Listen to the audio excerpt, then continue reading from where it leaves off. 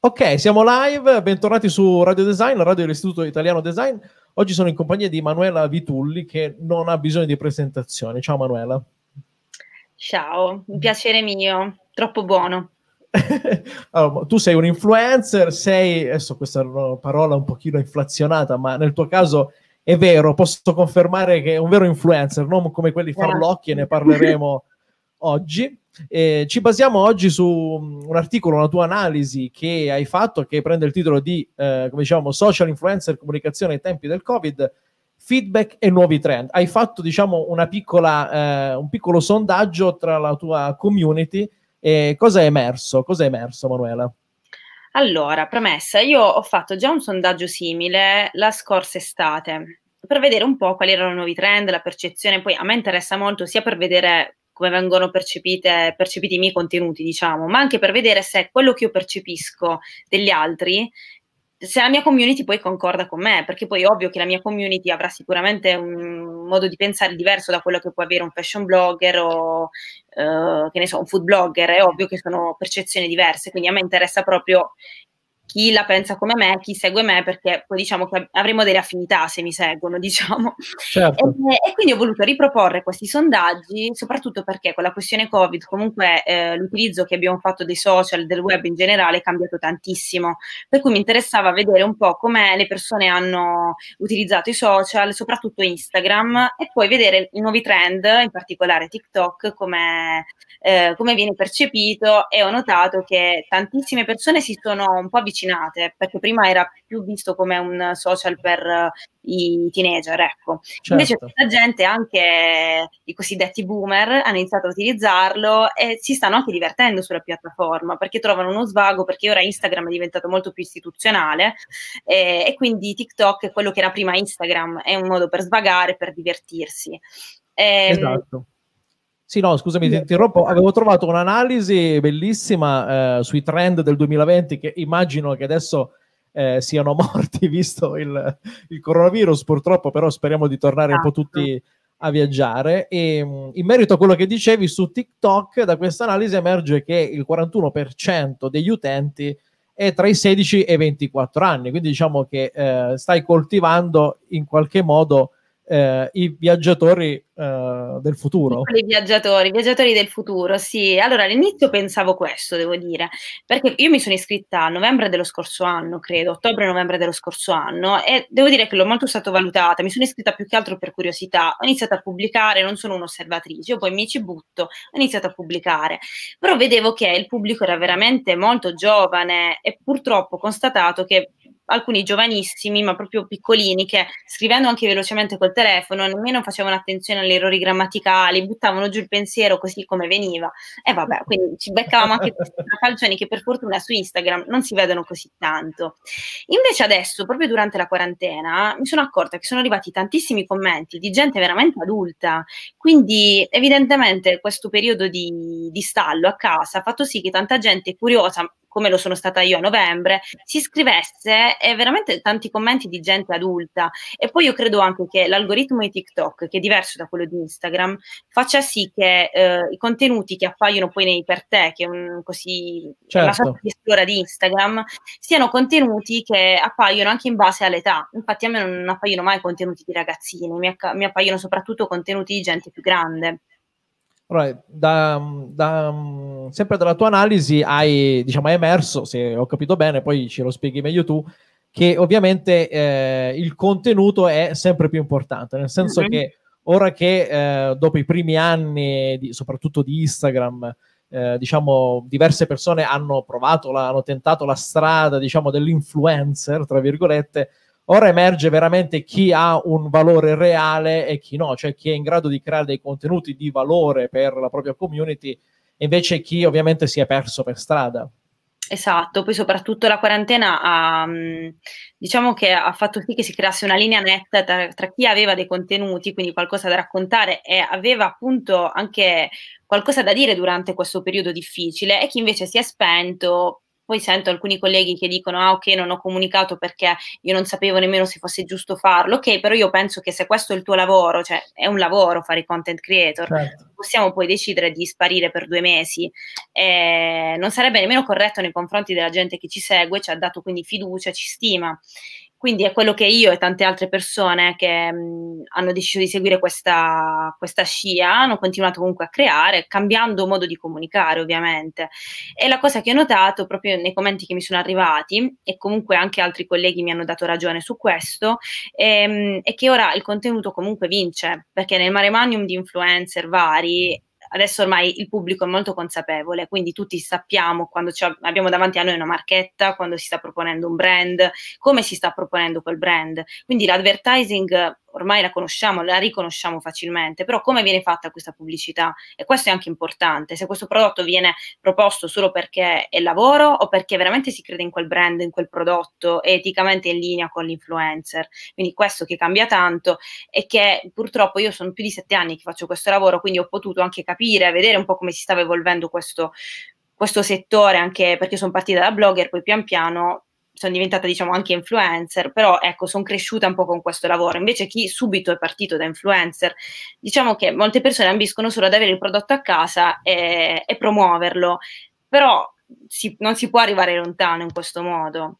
Sì, probabilmente chi è nato come blogger adesso è molto più preparato a superare, credo, una fase del genere perché è più abituato a creare un contenuto che sia più articolato, cross mediale. Esatto. Poi ho visto esatto. che tu hai spinto molto di più anche sui video eh, ultimamente. Eh, raccontaci anche questo, nel senso come, dove sta andando diciamo, il trend, se l'immagine conta ancora, se il video è più eh, allora, io, eh, eh, vabbè, io sono un'affezionata dell'immagine, diciamo, perché sono partita da sempre, amo Instagram e per me Instagram deve anche rimanere solo immagini. Poi per carità le storie mi prendono, mi piacciono e mi piacciono anche i video, sono sincera. Però chi per esempio è partito direttamente con i video su Instagram, quindi magari è un account più giovane, io vedo che va molto bene con i video perché ha abituato la sua community alla creazione di video e, e quindi video che comunque ingaggiano molto, è molto diverso da chi invece è partito da da, Instagrammer puro, diciamo i vicoletti, quelle cose che andavano molto cinque anni fa, tipo, e, e quindi fa molta più fatica adesso a proporre contenuti di questo tipo io e altre persone che come me sono partiti col blog, diciamo che siamo molto più versatili perché ci siamo un po' dovuti adattare nel corso degli anni anche al cambiamento dei trend. Per cui chi come me cerca un po' di, di adattarsi, anche di sperimentare, quindi non seguire la scia semplicemente, ma sperimentare e, e cucire poi su, su, di noi, su noi stessi, sul nostro stile comunicativo, poi quel social, riusciamo un po' a resistere. Però io credo che la chiave sia appunto questa, cercare di capire un po' quelli che sono i trend e poi eh, cervellarsi un po' per far sì che quel trend possa essere in linea con noi, quindi non piegarsi a fare i balletti su TikTok per dire a 40 anni, possiamo anche fare dell'altro. No, ma infatti io anch'io mi sono iscritto a TikTok e ho visto un pochino come si sta evolvendo la cosa e penso che avrà un grandissimo sviluppo anche per noi anziani, tra virgolette. Tantissimo, diciamo. poi per carità ogni tanto qualche video goliardico ci sta anche, cioè, è lecito farlo, li faccio anche io, però ognuno di noi poi deve sviluppare un po' quello che è il suo trend. Io per esempio continuo anche a proporre tanti video di viaggi, anche video fatti col drone, video così, e devo dire che poi sono i contenuti che vanno per la maggiore, nonostante TikTok non sia nato per quello. Certo. Quindi proprio l'altro giorno mi è arrivato un commento di un, un ragazzo, non, non, so quanti anni avesse, appena iscritto, e mi fa, ma questo non è, non è Instagram, una cosa del genere mi scrive, faccio guarda che comunque questi video su di me funzionano, infatti sono i video che hanno certo. raggiunto 100 100.000 views sul mio profilo con 11.000 follower, cosa che invece su Instagram, su cui sono molto più seguita, non ho mai raggiunto, perché comunque ora l'algoritmo di TikTok premia tanto e certo. questa è una cosa che, che, favorisce anche l'iscrizione di tante persone, a differenza di, di Instagram.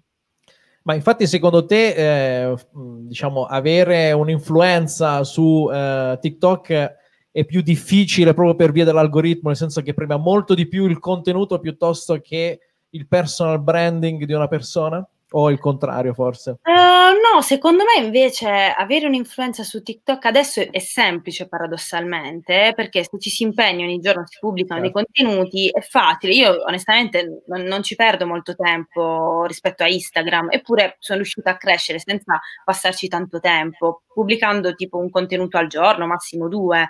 E a volte sono anche contenuti che vengono da Instagram magari, però premia perché ovviamente ora, favorendo con il suo algoritmo, permette permette di avere tanti iscritti perché la gente vuole crescere, è curiosa. Nel momento in cui, secondo me, raggiungerà degli altri risultati, quindi inizierà a crescere anche in Italia, sarà diverso. Io, io la vedo così. Certo. Un po' come Instagram, e... diciamo, che all'inizio premiava tutti, all'inizio il contenuto girava anche per due settimane, mi ricordo certe foto del Salento che giravano per due settimane, adesso sì e non, contenuto è una vita di 24 ore, un post. Certo. Eh, infatti sì.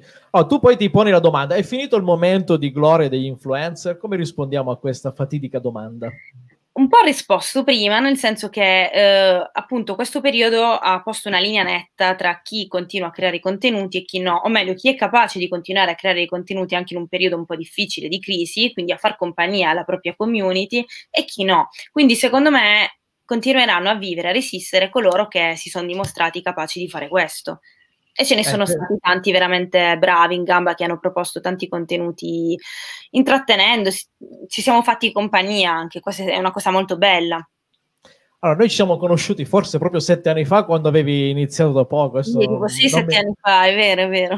Non mi ricordo. Infatti lì ero scettico, invece tu sei una grande perché hai continuato sempre e sei diventata quello che sei, quindi complimenti. Grazie ma ti chiedo oggi, dopo questi sette anni, diciamo, di arco temporale, no? dove nessuno avrebbe forse immaginato che Instagram sarebbe diventato quello che è, eh, TikTok non c'era ancora. Ora, secondo te è impossibile fare sempre una previsione, però nei prossimi cinque anni il, il viaggio si racconterà sempre tramite un blog, i social media o secondo te ci saranno altre forme, forme nuove di racconto?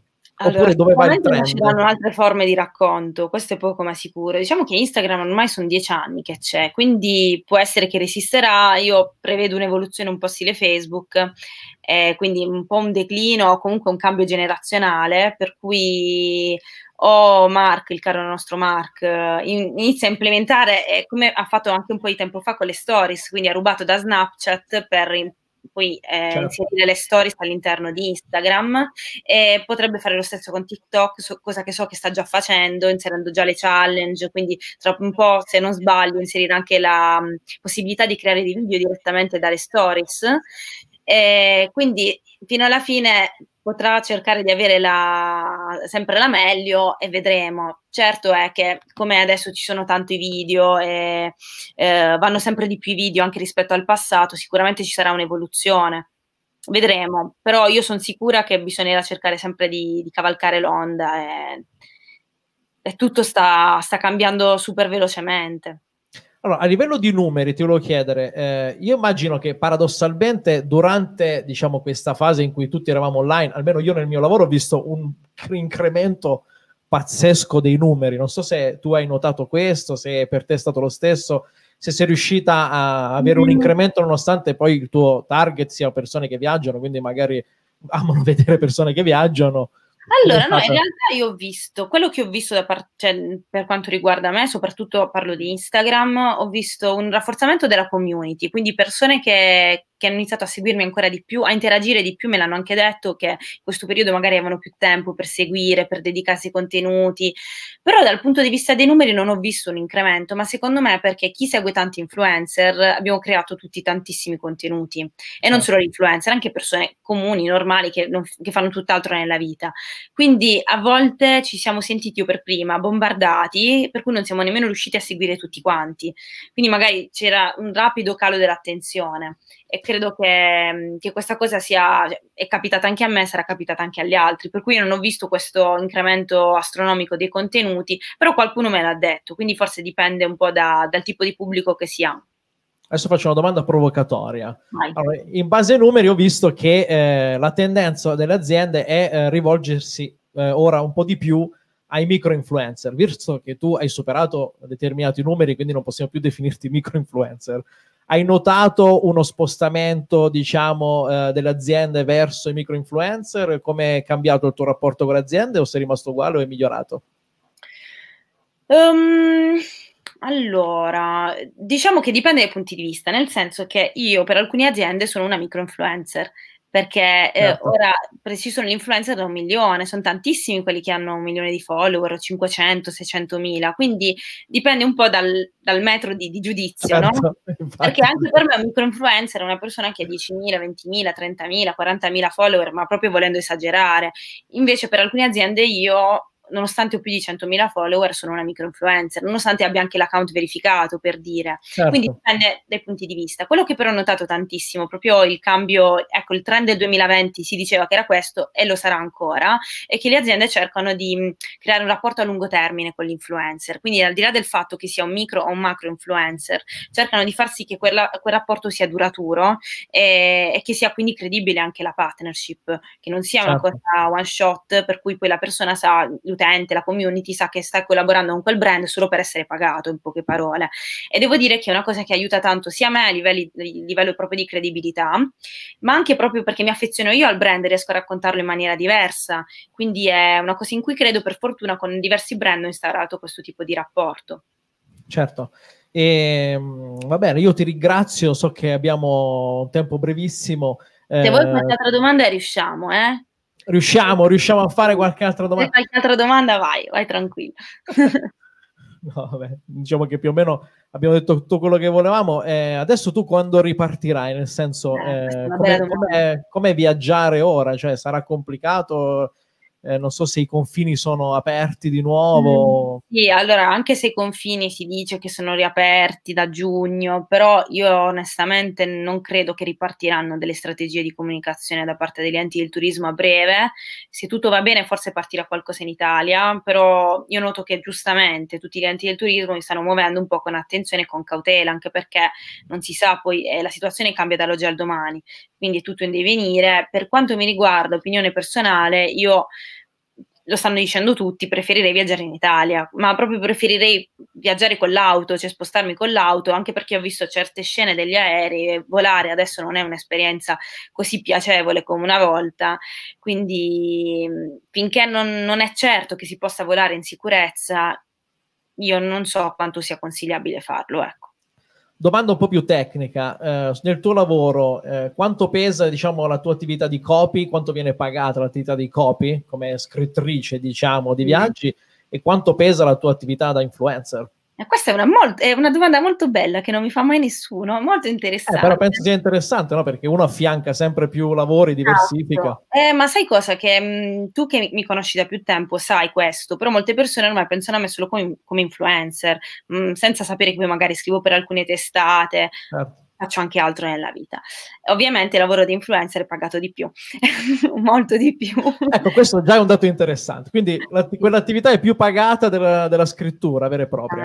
Sì, a me piace tanto scrivere, però purtroppo al giorno d'oggi non si può vivere di quello. Mm, quindi diciamo stiamo parlando di un 70-30.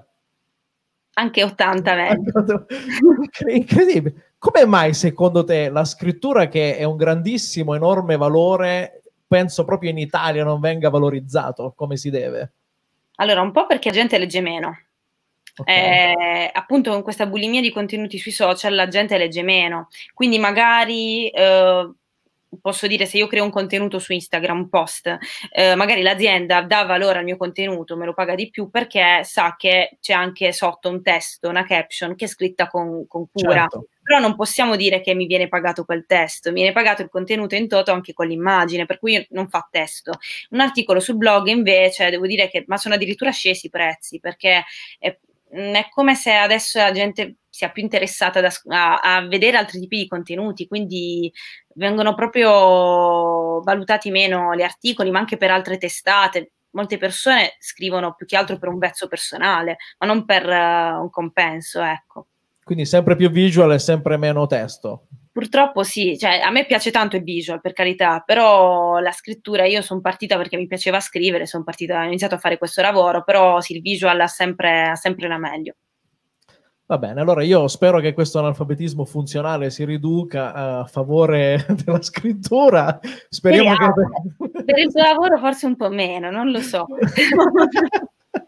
Mi sa che per il lavoro di tutti, io scrivo poco, anche se gestisco magazine, eccetera, però... Ma poi è strano anche perché a livello di SEO la scrittura è importante, quindi forse le aziende sì. neanche capiscono questo probabilmente. Esatto, esatto. E il problema è questo, che molte aziende, non, non, io ho provato tante volte, provo anche a proporre anche l'articolo, che so già che me lo pagheranno molto di meno rispetto a un altro tipo di contenuto, ma proprio le aziende non capiscono che quel contenuto, come dicevamo prima, un contenuto su Instagram, non manco il post, anche se rimane lì, ma chi lo ripropone più poi alla fine? Quel post dopo 24, massimo 48 ore non lo vedrà quasi più nessuno. Certo a meno che viene il curioso sul tuo profilo, si rispulcia un po', però non è che si rivede tutte le immagini. Invece quel post sul blog, se poi si indicizza bene, lo sai benissimo, finisce eh, in prima pagina di Google o comunque finisce nella SERP, si indicizza bene. Oltre al fatto che io posso poi riproporlo nei miei canali social col tempo, come certo. ho fatto con tanti altri post che ho scritto in passato, articoli del blog però non è una cosa, evidentemente molti non, non sono vecchi a scuola, quindi queste cose non, non le sanno tornerà, il testo tornerà in auge, io lo spero. Vedremo, per esempio sono tornati in auge tanti podcast e infatti adesso molte persone preferiscono oppure abbinano l'articolo al podcast, perché esatto, molte persone io... ascoltare più che leggere. Esatto, io per lavoro lo faccio, quindi sono contento che tu l'abbia detto, esatto. No, no, a me piacciono tanto che... i podcast, io sono pro podcast, anche perché magari mentre sei preso a fare altro lo faccio sempre, mentre faccio altro eh, ascolto un podcast, effettivamente abbiamo più tempo così anche per prendere altri contenuti perché quante persone poi hanno tempo per leggere? Ci stai dicendo che questo è uno scoop e che tu eh, stai sviluppando un po'. No, no. Allora, onestamente, sono sincera, mi piacerebbe. Eh, ci penso da un po', però non ho il tempo materiale per fare anche questo. Cioè, veramente mi dedico già a troppe cose, quindi non ce la farei, però mi piacerebbe. Va bene, magari ci becchiamo una volta ogni due settimane e lo facciamo così il podcast. Va bene, va bene, si può fare. Ti ho lanciato l'idea. Va bene, grazie. Grazie mille, non ti disturbiamo ulteriormente. Buona creazione di contenuto. davvero, una bella chiacchierata. Grazie, ciao, buon lavoro. Grazie altrettanto. Ciao a tutti.